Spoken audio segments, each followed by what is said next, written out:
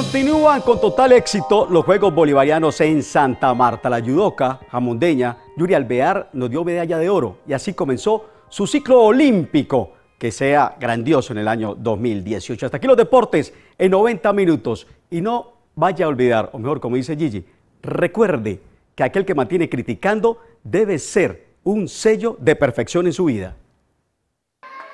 La vallecaucana Yuri Alvear consiguió su primer objetivo en los Juegos Bolivarianos de Santa Marta. Logró ganar la medalla de oro en la categoría 70 kilogramos, una medalla que marca para ella el inicio del ciclo olímpico para Tokio 2020. La idea es quedarme aquí entrenando, pasar la Navidad con mi familia y la primera semana de enero regresarme nuevamente a Japón. Tengo muchos eventos, Gran Slam, Gran Prix, pero obviamente fundamental para el próximo año los Juegos Centroamericanos en Barranquilla.